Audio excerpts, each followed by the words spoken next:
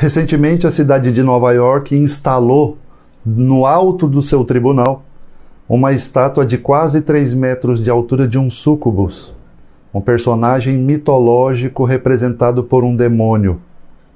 Um portal de notícias nominou essa estátua como uma medusa satânica de ouro. A estátua foi feita em honra ao por motivos óbvios de plataforma, eu não posso falar a palavra, mas digamos assim, ao direito da mãe em não manter mais a sua gravidez. Você sabe do que eu estou falando. Desde os primórdios da história da humanidade, muitas civilizações ergueram postes, estátuas e ídolos de entidades pagãs, em rebelião, em revolta, em afronta contra Deus. Mas nenhuma dessas civilizações, por mais poderosas que elas tenham sido, sobreviveram.